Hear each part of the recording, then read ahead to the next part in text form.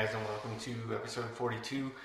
We took a week off uh, last week. We had a lot going on. Um, I actually was doing a pretty high-end exam on Monday, so I had to spend Sunday studying, uh, which worked out. I actually managed to pass the whole thing, so that's good.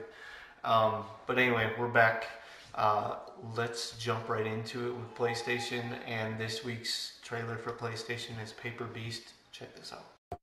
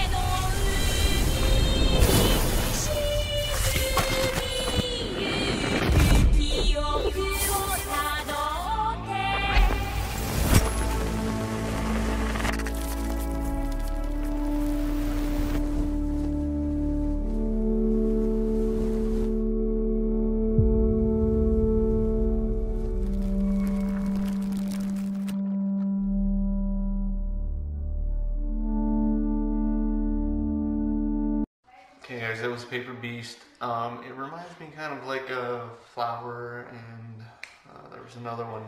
Can't remember what it is off the top of my head right now, but um, it does look like it'll be a cool little uh, title to play around with. Uh, moving on to PlayStation's news for the week. Alatreon hits Monster Hunter World Iceborne uh, this May.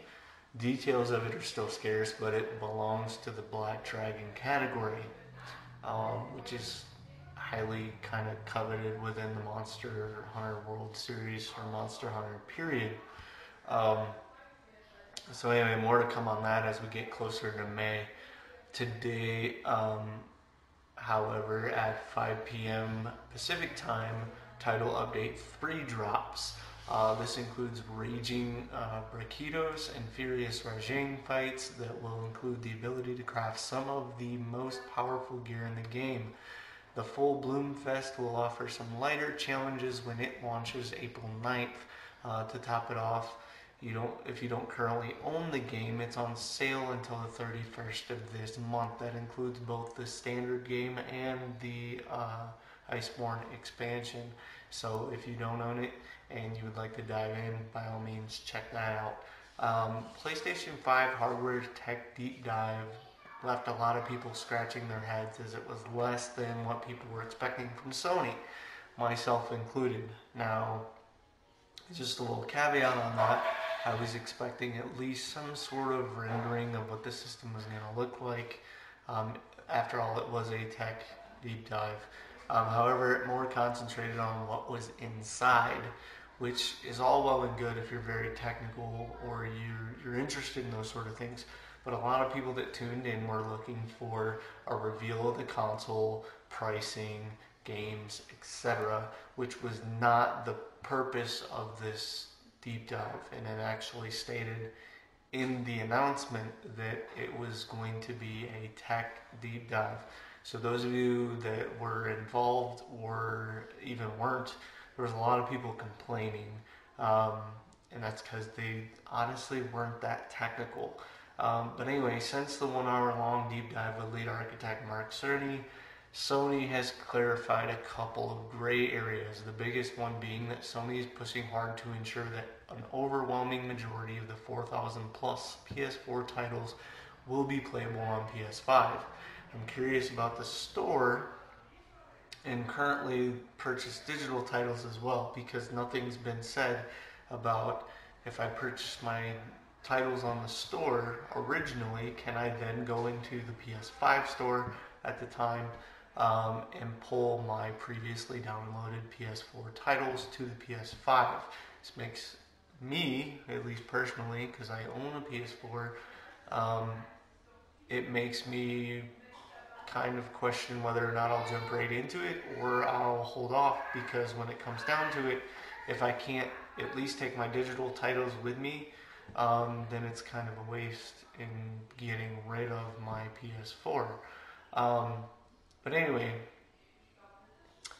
that being said, Mark Cerny only covered a 100 titles um, that he was referring to within the Tech Deep Dive.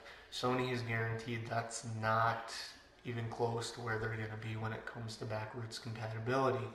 Now, the second thing to be aware of is even though it comes out with a 10.3 teraflop, there's a very key advantage to Sony's PS5 over this Series X. The I/O throughput is two times that of the Xbox Series X. It's 5.5 gigabytes raw and 8 to 9 gigabytes compressed, whereas the Xbox Series X is at 2.4 and 4 to 5 gigabytes um, compressed. So there's that.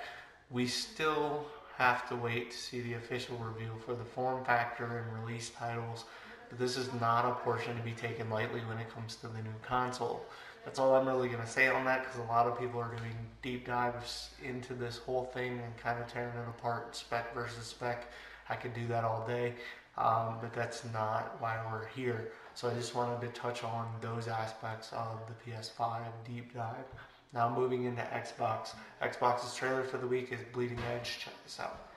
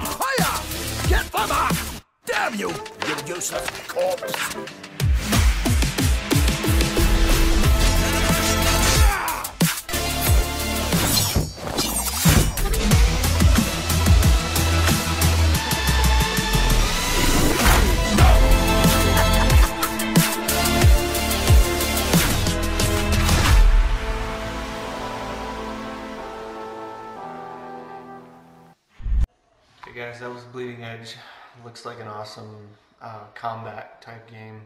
Uh, when it comes down to it, it's got kind of the same art visuals as the Borderlands style, which is really cool. Um, but anyway, moving on. Doom Eternal is now available, and you can jump into the campaign very easily with an epic single player fight through hell and beyond. But also, beyond the campaign, there is more. You can hone your skills with in-game events, collectibles, multiple difficulty modes, and master levels. The master levels are basically the take of the original level from the game that has been tweaked to make it more difficult. Um, battle mode for multiplayer and an all new 2 versus 1 PvP experience from id Software that includes one character being a fully upgraded uh, merc of sorts and the other two being demons that will fight that uh, said merc. So that's that's actually a really cool aspect um, that I'm looking forward to checking or in, looking forward to checking out. God, if I could talk every time, I don't know what it is. Maybe it's you guys. I don't, I don't know. Um, so anyway, it's out now and will be worth a play, especially if you grew up with the title like me. Now, Xbox did a huge tech demo uh, with Austin Evans and Digital Foundry that I encourage everyone to check out as we get closer to the full unveiling of PS5 and learn more about the Xbox Series X. We're bound to get more and more exciting news. I have a little bit of a hang up with the whole announcement, comment, whatever you want to call it, by Phil Spencer that Xbox is no longer in competition with Sony and Nintendo because although they're pushing xCloud, they're still releasing a console. Now, Amazon and Google do not have consoles. It's just the way it is. So, when it comes down to it, I agree that the cloud market, this would be their competition, but not with the console side. So, that's just kind of a little piece that irritates me about this whole release and information and all that good stuff. But anyway, Peace said. Um, the demo, however, does a full-on dive into the system's architecture and even gameplay.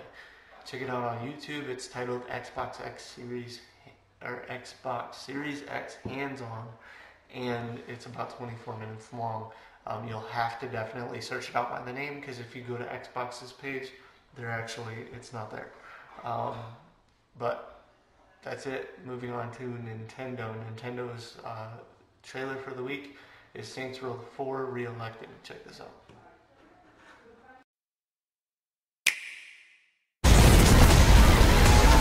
Hello, human. Holy sh! Earth is gone, and nothing we do today is gonna change that. What's the plan? We're gonna kill a lot of aliens.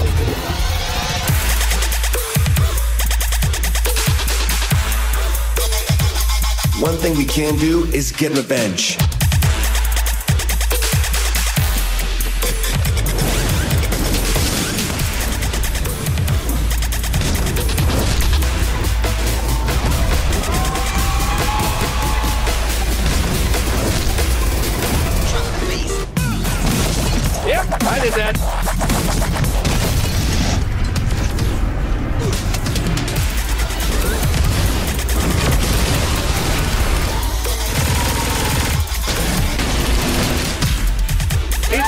Time now.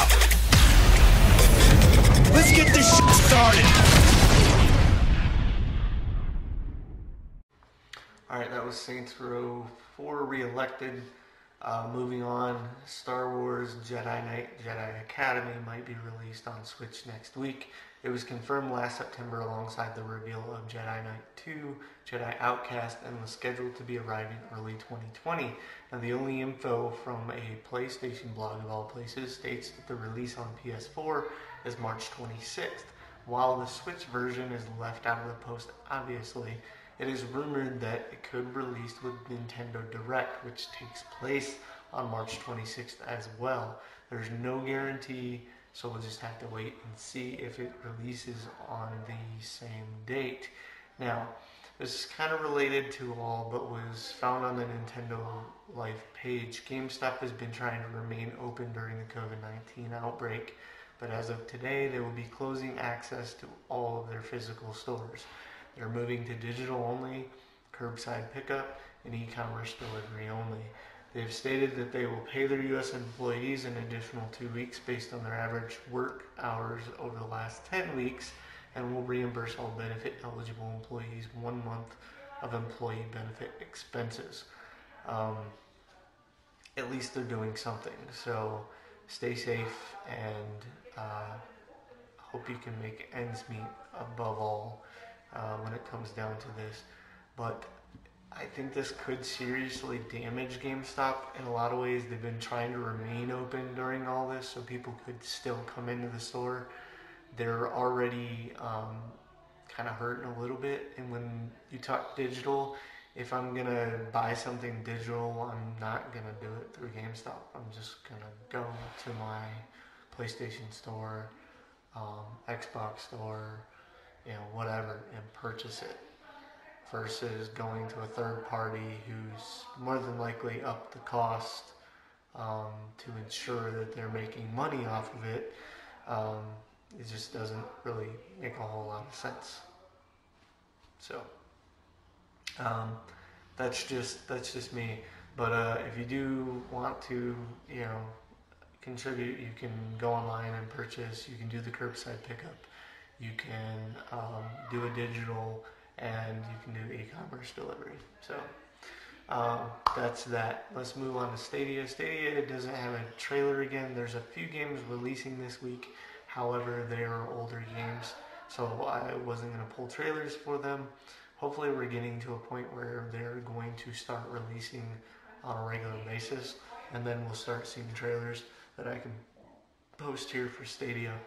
Um, Ubisoft is adding three games to, stu- to Stadia in the end of March The Division 2, The Crew 2, and Monopoly. All will come to Stadia between the 25th and the 28th.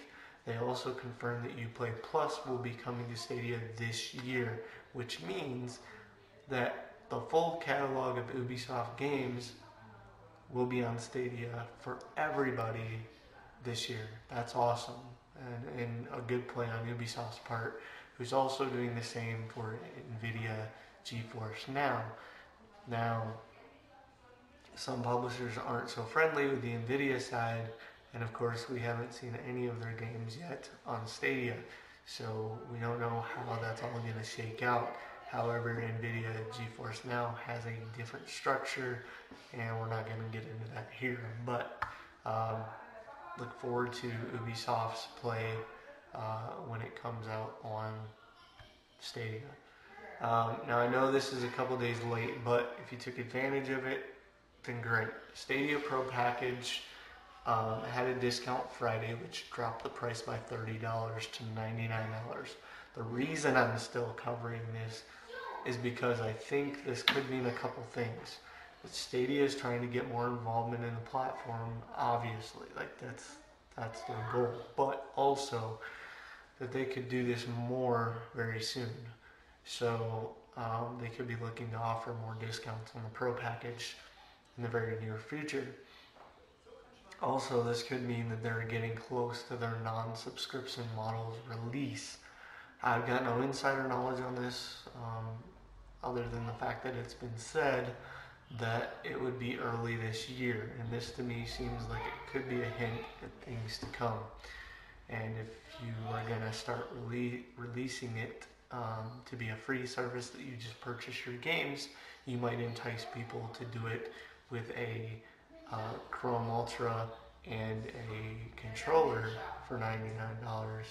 So, anyway, that's it for Stadia, and that's it for me, guys. So, as always, like, comment, subscribe, share, and again, we're still growing the channel. We're, uh, wow, only about 16, maybe, yeah, about 16 weeks from being on a year, and it's crazy. Um, we don't really do any um, any marketing for the channel or anything like that. Uh, we do post social media, so by all means, um, like, comment, subscribe, and we will see you next week. Have a good one, guys.